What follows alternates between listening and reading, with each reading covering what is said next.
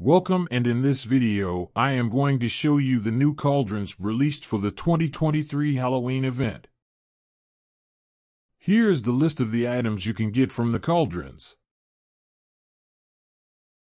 Here is the new cauldron and I placed the 2022 and 2021 cauldrons next to it. You can get the new cauldron from Beating the Cursed Wraith or you can buy them for 250 tickets from the hooded figure in the hub. Let us open some now and see if we can get some of the new items. I will do a video next week where I will open 100 cauldrons to see if I can get everything.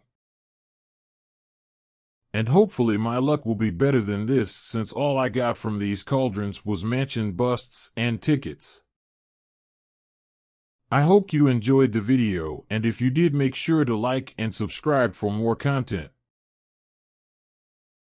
That is all I can do for this video. Thank you for watching and have a nice day.